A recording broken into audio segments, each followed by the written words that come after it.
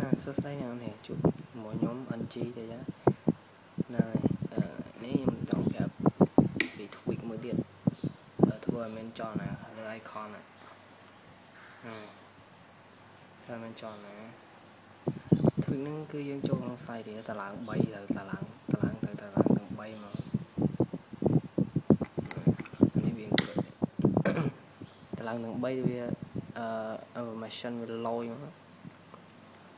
lab thì em cứ, cứ.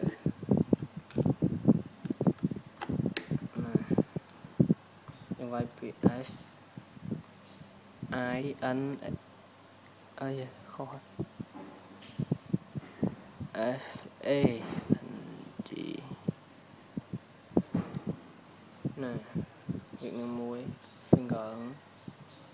Nữa nè rồi trước install mà hoặc là nắm tay ឲ្យវាមួយទៀតវិចមួយទៀតដើម្បីមើលទៅវាលយគឺវាតបសំមួយគ្នានេះហ្នឹង snackle snackle snackit ហ្នឹងណាតឡើងមួយដែរមកតមកតឡើងនេះ snackit snackit flash ហ្នឹងតឡើងទាំង3មកអ្នកនេះចូល setting នេះតែមានចលនា តែមានចលនាដល់ខ្លះ icon សិនវិញវានេះនេះ finger ហ្នឹង finger នេះយើងក៏ទាញវាឡើងមកទាញវាឡើងគេមកបោកទៅមកវាបានហើយអ្នកហើយកុំពេចចុចអានេះមួយ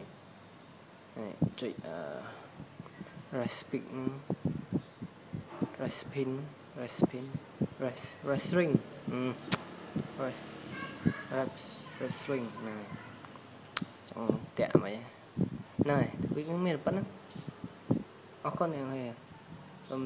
ជួយ like subscribe channel ផងអរគុណអ្នកនរ